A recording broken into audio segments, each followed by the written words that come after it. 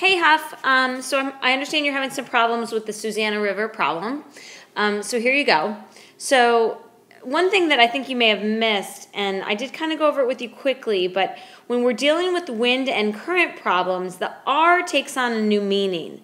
Okay, so it's always going to be R plus or minus the wind or the current. It's going to be that we're going to add the wind if we're going um, like downstream or the wind is pushing us like we have a tailwind, but we're going to have to subtract the wind or the current from the rate of the boat um, if we're going upstream and against the current because it slows us down. So R really acts like the speed in still water of the vehicle. Okay?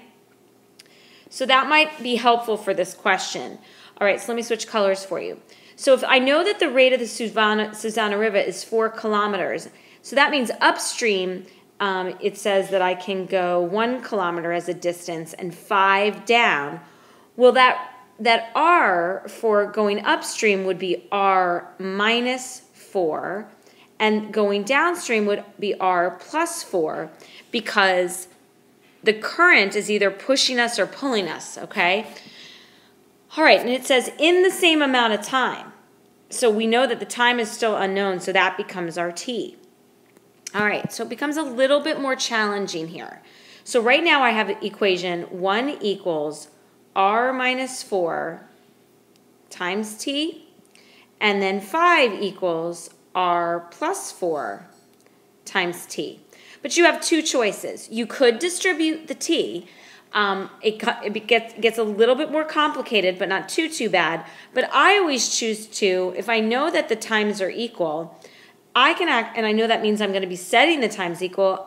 I don't like to distribute a, a variable through parentheses that's going to give me like tr, two variables being multiplied. So what I chose to do instead was to divide both sides by r minus 4 and solve for t.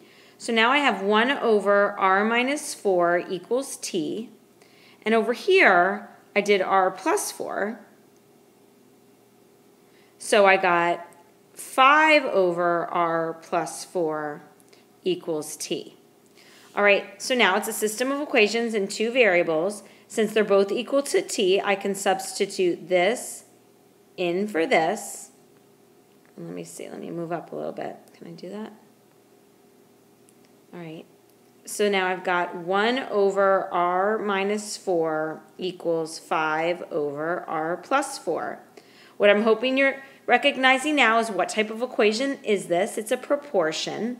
And to, to solve a proportion, we can cross multiply, right? We can cross multiply. So we get r plus 4 equals 5r minus 20. I'm going to add 20 to both sides, and I'm going to subtract r to both sides. So I get 24 equals 4r, and so then r equals 6. All right, so r equals 6, and so the rate of the boat in still water is 6, was it kilometers? 6 kilometers per hour. Okay? All right, hopefully that helps you. I'm going to download it now, and let me know if you have any more questions.